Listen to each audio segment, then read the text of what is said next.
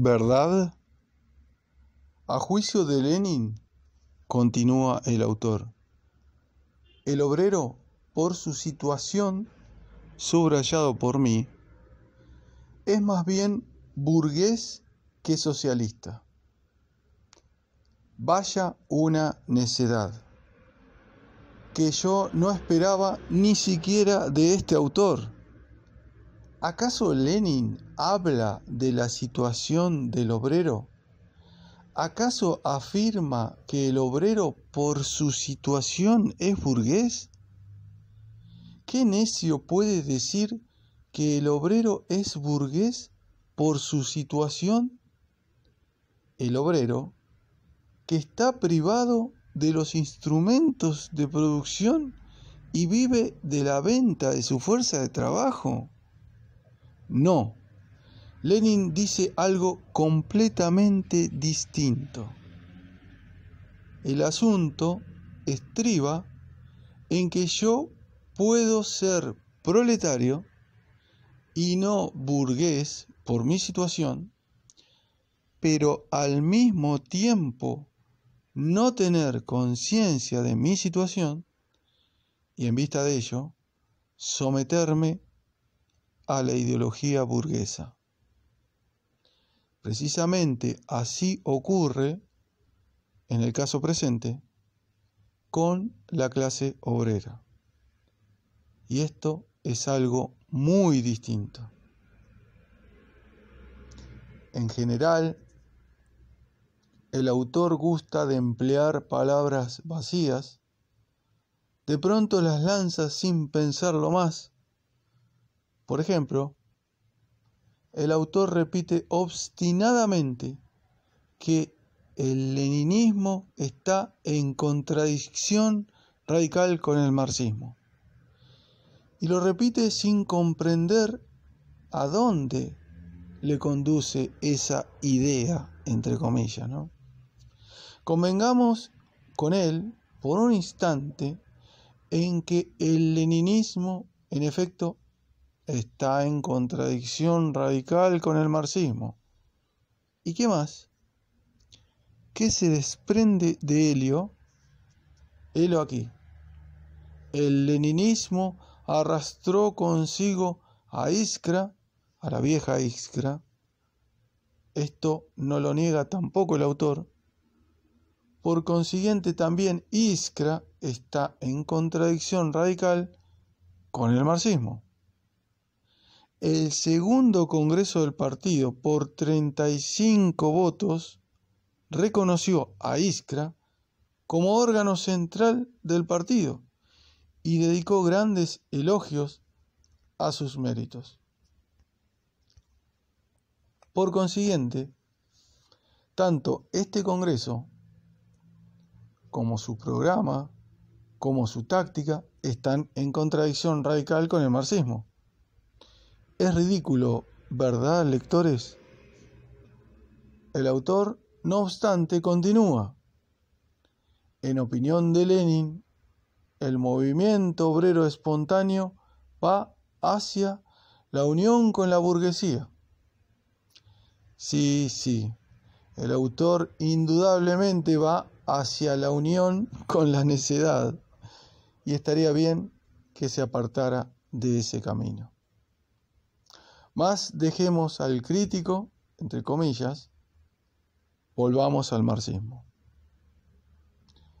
El respetable crítico repite obstinadamente que la posición de la mayoría y de su representante, Lenin, está en contradicción radical con el marxismo, pues tanto Kautsky como Marx y Engels dicen, según él, lo contrario de lo que sostiene Lenin. ¿Es así? Veamos. Sekautsky, nos informa el autor, escribe en su programa de Erfurt, los intereses del proletariado y de la burguesía son hasta tal punto opuestos que las aspiraciones de estas dos clases no pueden coincidir durante un tiempo más o o menos prolongado. En todo país con modo capitalista de producción, la participación de la clase obrera en la política tiene que llevarla tarde o temprano a separarse de los partidos burgueses y formar un partido independiente, el Partido Obrero. Pero, ¿qué se desprende de esto? Tan solo que los intereses de la burguesía y del proletariado están en mutua contradicción, que tarde o temprano el proletariado se separará de la burguesía formando un partido obrero independiente.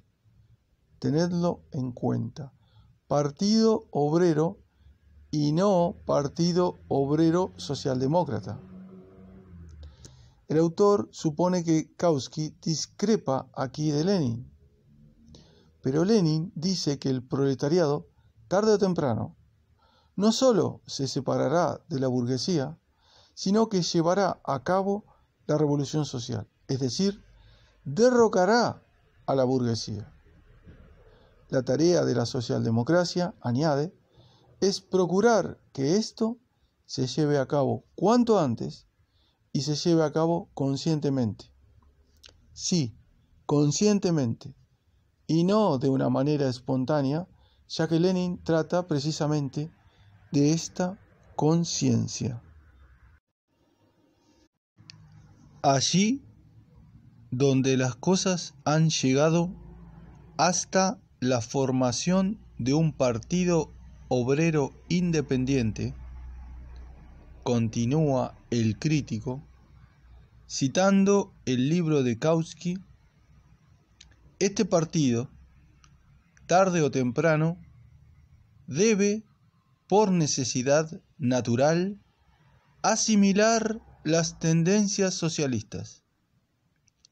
Si no, está inspirado en ellas desde el comienzo mismo debe, en fin de cuentas, convertirse en partido obrero socialista, es decir, en socialdemocracia.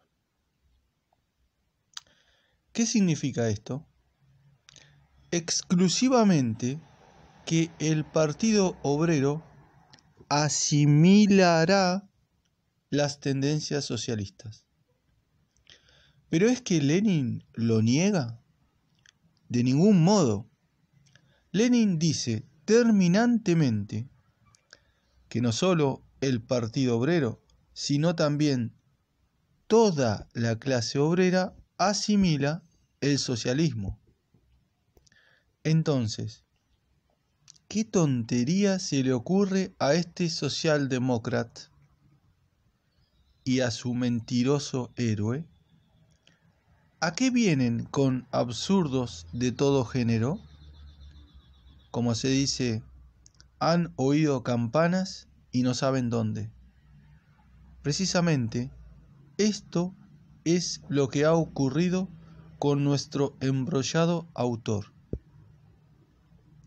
Según veis, Kautsky no disiente aquí ni en un ápice de Lenin pero en cambio, todo ello demuestra con excepcional claridad la insensatez del autor. ¿Dice Kautsky algo a favor de la posición de la mayoría? He aquí lo que escribe en uno de sus notables artículos en el que analiza el proyecto de programa de la socialdemocracia austríaca. Muchos de nuestros críticos revisionistas, seguidores de Bernstein, entienden que Marx ha afirmado que el desarrollo económico y la lucha de clases, además de crear las premisas para la producción socialista, también engendran directamente la conciencia, subrayado por Sekowski, de su necesidad. Y he aquí que esos críticos replican que Inglaterra, el país de mayor desarrollo capitalista, es más ajeno que ningún otro a esta conciencia. A juzgar por el nuevo proyecto austríaco, se podría creer que esta concepción es compartida también por la comisión que redactó el programa austríaco. El proyecto dice, cuanto más aumenta el proletariado con el desarrollo del capitalismo, tanto más obligado se ve a emprender la lucha contra el capitalismo y tanto más capacitado está para emprenderla. El proletariado llega a adquirir la conciencia de la posibilidad y de la necesidad del socialismo. En este orden de ideas, la conciencia socialista aparece como el resultado necesario y directo de la lucha de clase del proletariado. Pero esto es falso. La conciencia socialista moderna puede surgir únicamente sobre la base de profundos conocimientos científicos. Pero el portador de la ciencia no es el proletariado, sino la intelectualidad burguesa, subrayado por Sekowski. Es del cerebro de algunos miembros de esta capa de donde ha surgido el socialismo moderno y han sido ellos quienes lo han transmitido. El socialismo científico a los proletarios destacados por su desarrollo intelectual, los cuales lo introducen luego en la lucha de clase del proletariado. De modo que la conciencia socialista es algo introducido desde fuera en la lucha de clase del proletariado y no algo que ha surgido espontáneamente dentro de ella. De acuerdo con esto, ya el viejo programa de Heinfeld decía con todo fundamento que es tarea de la socialdemocracia llevar al proletariado la conciencia de su situación y su misión. ¿No recordáis, lectores, análogas ideas de Lenin sobre esta cuestión? ¿No recordáis la conocida posición de la mayoría? ¿Por qué el comité de Tiflis y su socialdemócrata han ocultado la verdad? ¿Por qué el respetable crítico, al hablar de Kautsky, no reprodujo en su artículo estas palabras de Kautsky? ¿A quién engañan estos honorabilísimos señores porque mantienen una actitud tan despectiva hacia el lector? ¿No será porque temen la verdad se esconden de la verdad y piensan que también la verdad puede ser escondida? Se parecen al ave que esconde la cabeza bajo el ala y se imagina que nadie la ve, pero se equivocan como se equivoca el ave.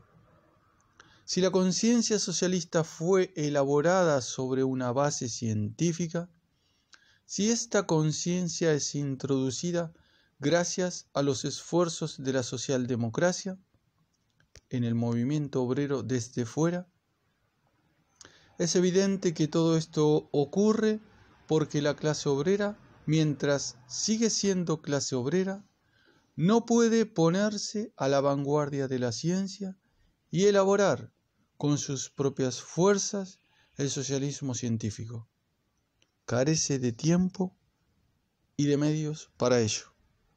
He aquí lo que dice Sekowski en su programa de Erfurt. El proletario puede, en el mejor de los casos, asimilar parte de los conocimientos elaborados por la erudición burguesa y adaptarlos a sus fines y necesidades.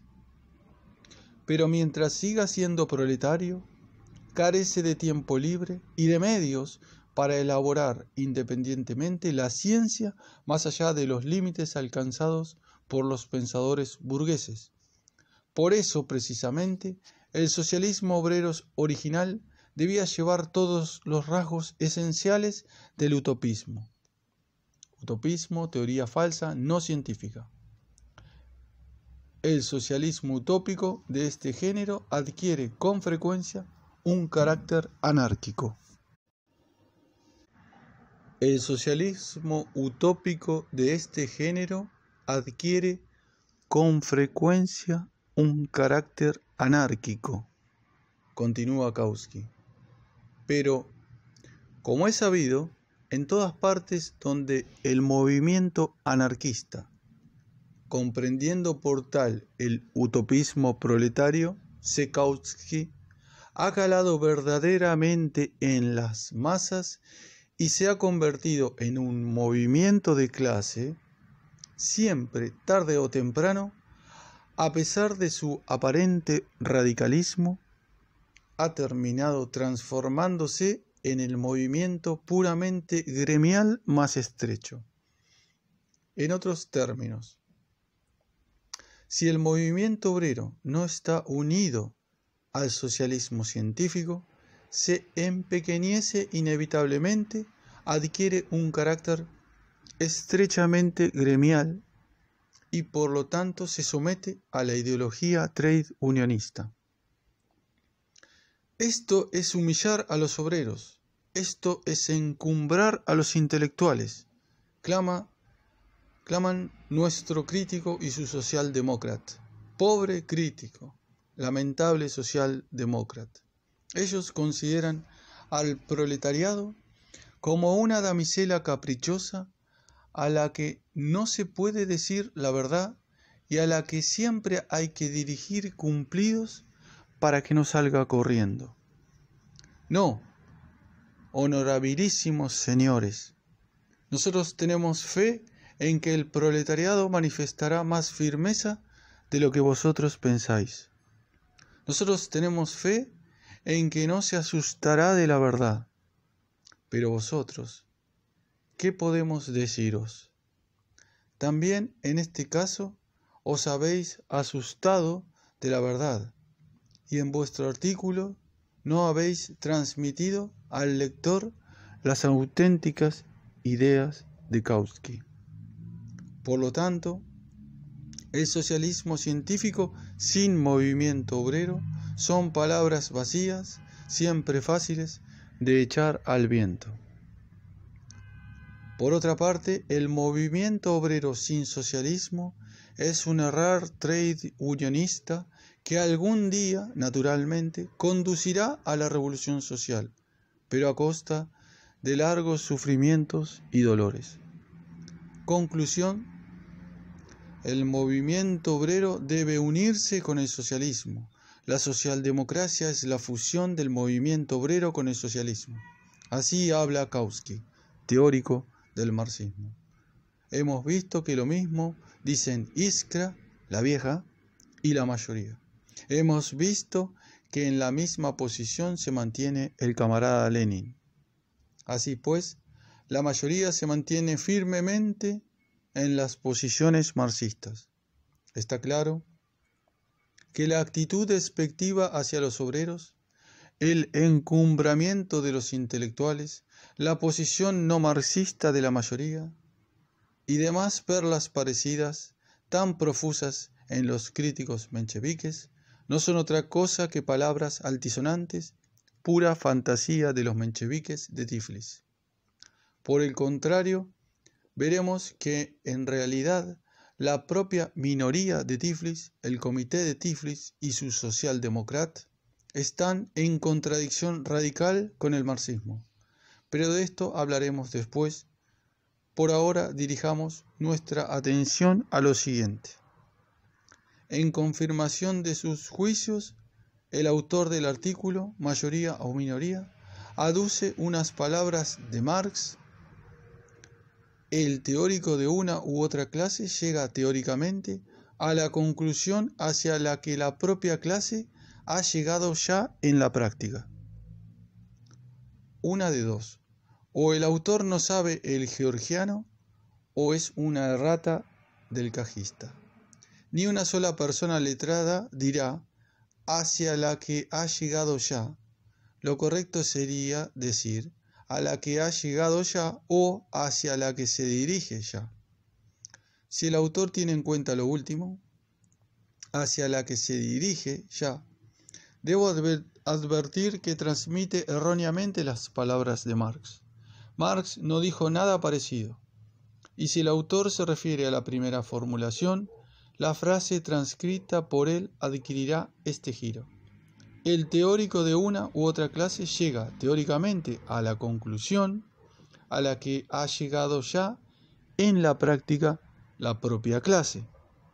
Dicho de otra manera, si Marx y Engels llegaron teóricamente a la conclusión de que el hundimiento del capitalismo y la edificación del socialismo son inevitables, esto significa que el proletariado ha rechazado ya el capitalismo prácticamente, ha hundido al capitalismo y ha edificado en su lugar la vida socialista. Pobre Marx, ¿quién sabe cuántos disparates le atribuirán aún nuestros marxistas de pacotilla? ¿Dice realmente eso Marx? He aquí lo que en verdad dice. Los representantes teóricos de la pequeña burguesía se ven teóricamente impulsados a los mismos problemas y a las mismas soluciones a que impulsan prácticamente a los pequeños burgueses el interés material y la situación social. Tal es, en general, la relación que existe entre los representantes políticos y literarios de una clase y la clase por ellos representada. Como veis, Marx de ningún modo dice ha llegado ya. Estas palabras filosóficas han sido inventadas por el respetable crítico. En este caso, las palabras de Marx adquieren un sentido completamente distinto. ¿Qué idea desarrolla Marx en la tesis hemos transcrito? Solo que el teórico de una u otra clase no puede crear el ideal cuyos elementos no existen en la realidad, que no puede más que captar los elementos del porvenir y sobre esta base crear teóricamente el ideal al que una u otra clase llega en la práctica. La diferencia está en que el teórico se adelanta a la clase y capta antes que ella los gérmenes del futuro. Esto es precisamente lo que se llama llegar a algo teóricamente. He aquí lo que dicen Marx y Engels en su manifiesto. Prácticamente los comunistas, es decir, los socialdemócratas, son, pues, el sector más resuelto de los partidos obreros de todos los países, el sector que siempre impulsa adelante, teóricamente, tienen sobre el resto del proletariado la ventaja de su clara visión de las, de las condiciones de la marcha y de los resultados generales del movimiento proletario. Sí, los ideólogos impulsan adelante, ven mucho más allá que el resto del proletariado y en ello está todo el quid. Los ideólogos impulsan adelante y precisamente por ello la idea, la conciencia socialista tiene gran importancia para el movimiento. ¿Por eso precisamente ataca usted a la mayoría, honorable crítico? Entonces despídase del marxismo y sepa que la mayoría está orgullosa de su posición marxista. La situación de la mayoría en el caso presente recuerda mucho la situación de Engels en los años del 90. La idea es la fuente de la vida social, afirmaban los idealistas. A su juicio, la conciencia social es el fundamento sobre el que se construye la vida de la sociedad. Por eso se les llamaba idealistas. Era preciso demostrar que las ideas no caen del cielo, que son originadas por la vida misma. En la palestra de la historia aparecieron Marx y Engels que cumplieron a maravilla este papel.